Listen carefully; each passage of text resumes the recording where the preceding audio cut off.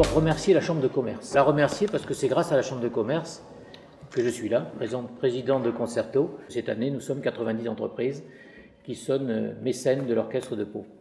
Pour rebondir sur ce que venait de dire Christian et pour introduire un peu la soirée très privilégiée que vous allez vivre, euh, privilégiée parce que rare, c'est extrêmement rare qu'un orchestre euh, ouvre ses portes pour assister à une répétition.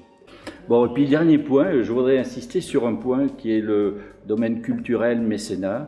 Aujourd'hui, l'entreprise et les entreprises que nous représentons doivent être aux côtés des artistes pour leur permettre de s'épanouir. Et je crois que nous avons ici un exemple fascinant d'un personnage qui est également fascinant et que nous apprécions tous. Bon, Merci beaucoup. Hein.